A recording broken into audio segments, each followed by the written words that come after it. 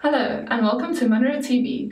You're watching our intermediate series of videos and this episode is on simultaneous death in a loss of support claim.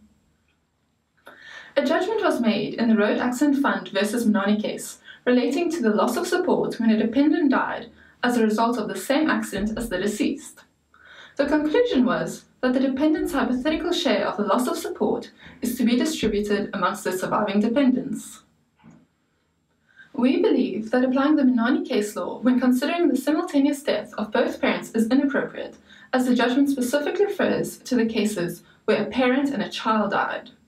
Let's look at how this is applied when both parents die in the same accident. In this example, we will have a father, a mother, and one child. Suppose each parent earns 10,000 Rand and gets two shares of the family income, while the child gets one. Therefore, the child should get one fifth of the family income of 20,000 Rand. If the case law is applied to this scenario, the child will get one third of 10,000 Rand from the father, plus another third of 10,000 Rand from the mother.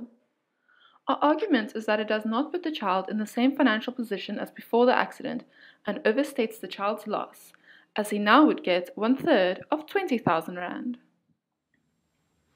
If one parent was the breadwinner and both parents pass away as a result of the same accident, then we will compile one report but include the breadwinner as the deceased and the parent that isn't earning as the plaintiff. This will ensure that both parents' shares are taken into account. In order to account for the fact that the plaintiff also passed away, we ensure that their chance of survival will be reduced from the date of accident. If both parents were breadwinners, we consider two calculations for example, if we first calculate the loss with the father as the deceased, we will include the mother in the calculation as a hypothetical plaintiff, but exclude any income she may have earned.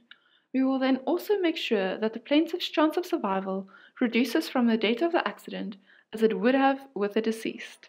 We perform the same calculations on behalf of the mother as the deceased. We hope that this episode has helped understand what happens in the event of simultaneous death in a loss of support matter. For more information, check out our other videos.